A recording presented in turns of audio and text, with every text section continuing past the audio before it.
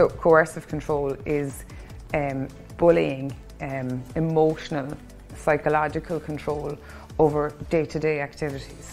It's, we've had examples of people measuring petrol tanks in refusing to allow people's freedoms without an actual physical assault.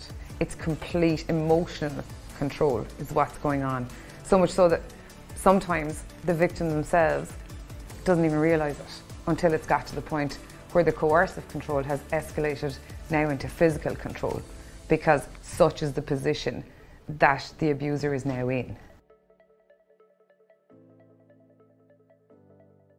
Examples of coercive control would be would be name calling, would be putting down somebody all of the time. Now, obviously people are going to have moments where they don't get on and there's going to be things said. Coercive control is not that. Coercive control is exactly as it said. It's control by one person of the other through subtle bullying, constant put downs all the time. How do you prove it? Because there's no bruise, there's no broken bones. But what you do is you reach out because now coercive control is accepted by the courts. There is legislation providing for domestic violence protection for emotional and psychological abuse. And in fact, it's now recognised as a criminal offence in this country.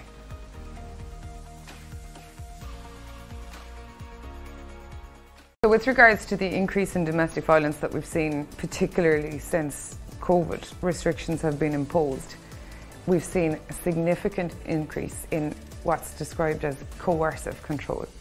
So I suppose generally the traditional domestic violence images would be of shouting and screaming and physical assaults, guards being called, um, and general hysteria. Coercive control is a very sneaky, subtle bullying type of control that takes over silently, sometimes within a house where the outs to the outside it appears that there's absolutely no problem.